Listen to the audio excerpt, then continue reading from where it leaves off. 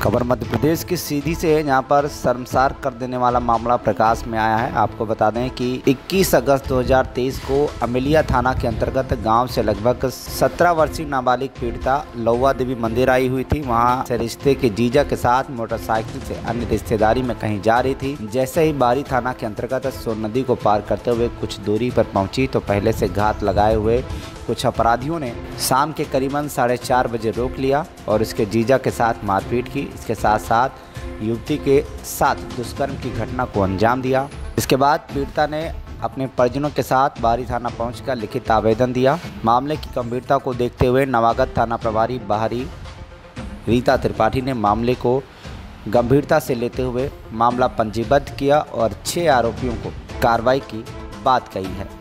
इस पूरे मामले को लेकर पुलिस अधीक्षक सीधी डॉक्टर रविंद्र शर्मा को कहना है कि गैंगरेप की घटना को अंजाम देने वाले तीन आरोपियों को हमने गिरफ़्तार कर लिया है और आगे की कार्रवाई जारी है।